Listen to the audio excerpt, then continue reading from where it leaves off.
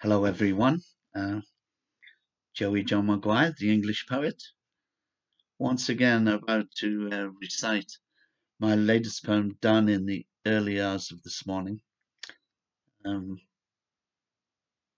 it's a little poem uh, about a little French butterfly. Um, it's called Papillon.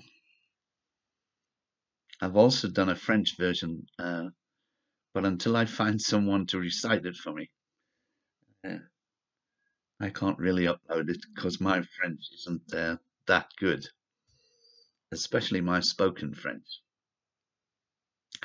Papillon. Not just any butterfly.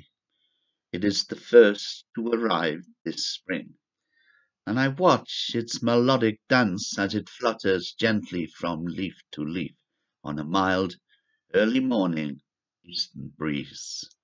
How sad, though, it is to witness the children rushing to fetch their nets, only one intent, which is to stifle before this wild, most beautiful creature has a chance to spread its wings.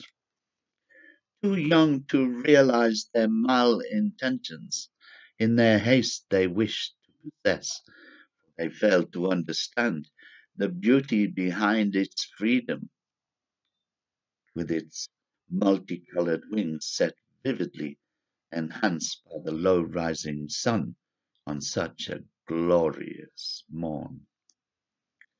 How tragic to see it caught, smothered by misplaced love, tangled in the net, manhandled and bottled, caged without a thought as to the cruelty of the death that will inevitably come. My heart beats with anger as the children run to find another play. Now the dreadful deed is done. I can't help thinking, will they ever learn? When they stop playing, will they realize that the stifling of such a beautiful creature is tantamount to hurting the thing you love, just like crushing the wings of an angel. Joey John McGuire.